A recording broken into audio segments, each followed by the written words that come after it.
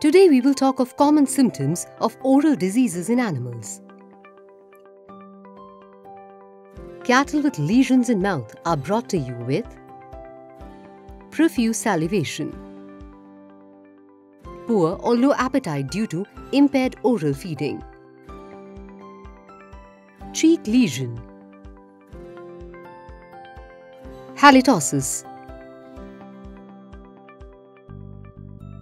common disease that affect mouth of animals that are